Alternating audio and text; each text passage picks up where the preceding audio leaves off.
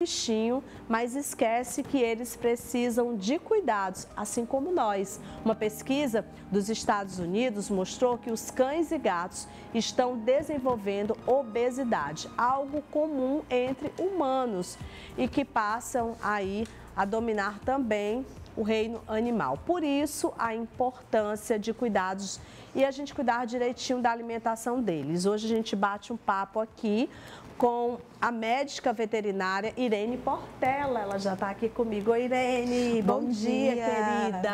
Bom dia. Então, a gente tem que cuidar dos animais como a gente cuida da gente, né? Claro, porque eles são nossos amorzinhos dentro de casa, são nossos bebês e a gente tem que cuidar deles também, né? Então, a gente está vendo aí que essa pesquisa recente que foi é, colocada nos Estados Unidos fala muito, tem essa preocupação com a questão da obesidade nos animais, né? Sim, e é interessante essa pesquisa porque ela fala sobre os cães que cerca de 64% dos animais dos cães já são animaizinhos com sobrepeso ou com obesidade.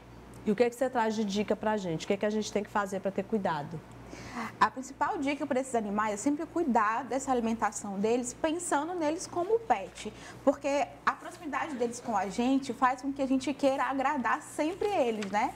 E como um bom brasileiro diz que a gente agrada as pessoas pelo estômago, a gente quer agradar os pets pelo estômago também.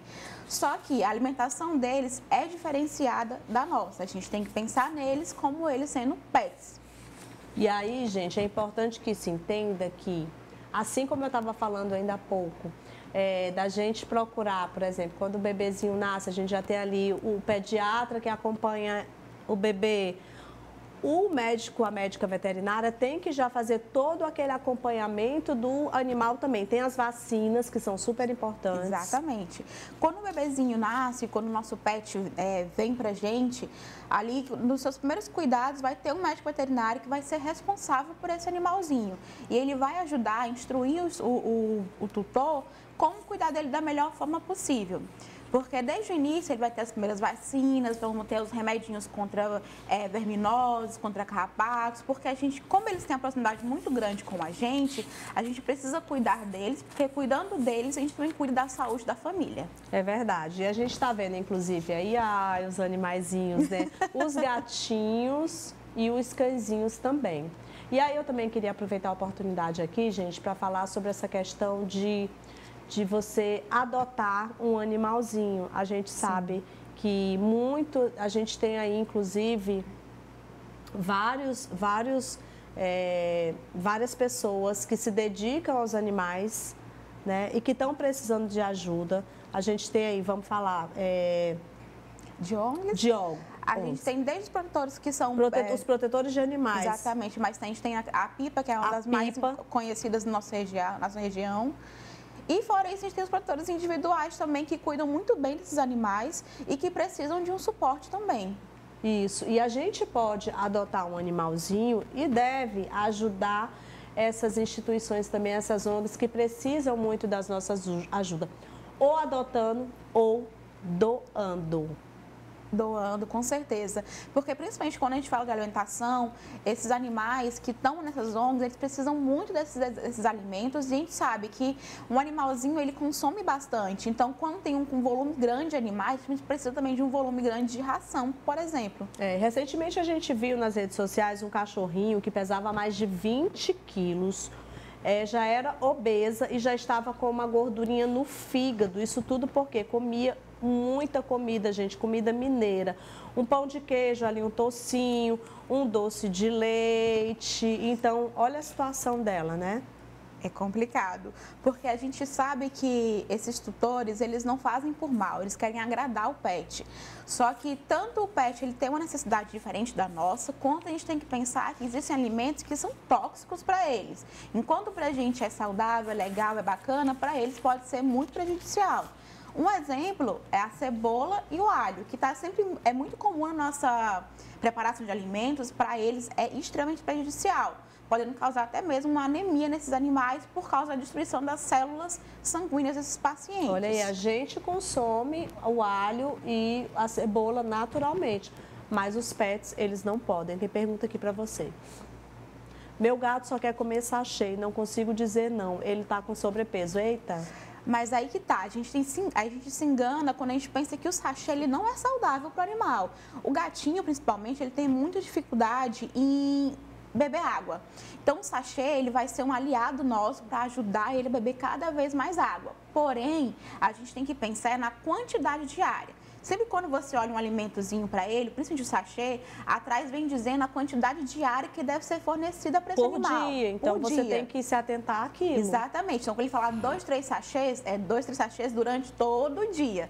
E a gente se atenta a isso para poder manter ele saudável. O sachê não é o vilão, é a quantidade que pode ser É. prejudicial. E também se ela notar que tá, tá, o sobrepeso está muito grande, é, é importante já fazer uma consulta para avaliar se não existe Exatamente. alguma outra coisa, né? Porque a gente tem que pensar que o cão, os cães e os gatos são muito diferentes um do outro. Então, não tem um peso específico que vai determinar que o animalzinho está com sobrepeso ou ele está obeso. O que vai dizer se ele está com sobrepeso ou obeso é a avaliação do veterinário, porque a gente vai olhar todo esse animalzinho da cabeça ao rabinho para poder ver a conformação física dele. E depois que a gente percebe que ele está com sobrepeso ou que ele está obeso, a gente precisa entrar com um tratamento específico, porque a obesidade ela é sim uma doença. E aí no mercado a gente tem inúmeras formas de tratar esse paciente. Desde uma dieta específica, com alimentos que sejam específicos para animaizinhos obesos, ou a linha light, que é para aqueles animaizinhos que já estão com um sobrepeso leve ou querem manter o peso. Mas também a atividade física, todos esses processos vão ser, é, vão ser auxiliares no tratamento geral desse paciente. Maravilha. Mais pergunta aqui para você. Minha avó vive dando carne e frango para o meu cachorro. Ele já está com dificuldade de caminhar por conta do peso. Olha aí, agradável. Ah, é difícil quando a gente tem um idoso dentro de casa para tratar esse pet, porque é, muitas vezes eles não entendem a importância de eu manter esse animalzinho dentro do peso adequado. Esse aqui mesmo já falou que a gente tá, que esse animalzinho está com dificuldade de caminhar. Isso já é um alerta muito importante, porque o animal ele precisa ter todas as suas atividades físicas diárias normais, né? Então, um animalzinho desse, ele tem uma conformação para receber um peso específico da genética dele, normal. Porém, quando a gente coloca ele num sobrepeso, a gente sobrecarrega demais, desde a articulação, sistema cardiorrespiratório, a gente percebe que esse animalzinho às vezes tem dificuldade de respirar e isso pode ser prejudicial. Até porque o animalzinho que vive dentro, de casa com a gente já vive pouco, né? Uns 10 anos, 12 anos, para quem queria que fosse uma infinidade de tempo, né? É pouco. Então, a nem me poder- fala, o pajé já tem 10 aninhos e eu fico todo dia pensando, minha gente, minha salsichinha. Pois não é, ó, a salsichinha, por exemplo, é uma raça que ela tem muita predisposição para problemas articulares. Sim. Então, o peso para ela tem sempre que estar adequado, Adequado. Porque imagina aquela coluna longa aguentando muito, Muito sobrepeso. sobrepeso não aguenta. Eu tenho aguenta. duas. Eu tenho dois, né? O, o pajé e a mel. Pajé foi morar com a minha mãe porque eu estava morando no apartamento e eles são muito sensíveis e aí ele latia muito os meus vizinhos eh, me denunciaram. Aí ele teve que ir morar com a minha mãe. Aí depois eu saí do apartamento e voltei para casa.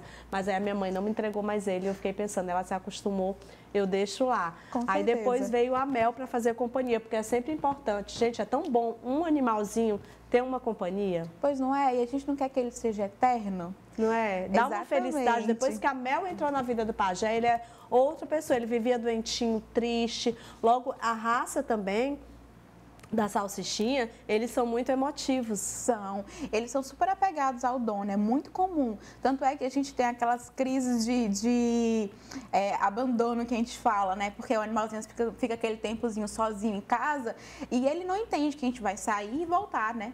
Ele acha que, a gente, que eles foram abandonados. Então, assim, muitas vezes eles ficam tão tristinhos por estar sozinho dentro de casa que uma companhia para eles é maravilhoso. É, ele, ele ficou outra pessoa depois que a Mel chegou na vida dele, com certeza. Meu filho hoje mora em São Paulo e teve recentemente aqui. Foi dormir na casa da minha mãe. Olha, pois o cachorro ficou o tempo todo aqui no quarto, na ponta, uma alegria, uma felicidade incrível. Gente, os animaizinhos de estimação.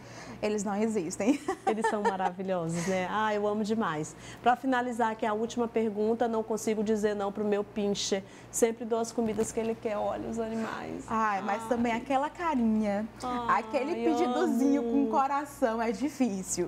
É difícil, mas a gente pensa que o seguinte, a dieta específica para esse animalzinho com sobrepeso, ela não é, é essa tortura toda. Ela é saborosa, tem toda, todos os, os nutrientes que ele precisa e ele vai se manter saciado.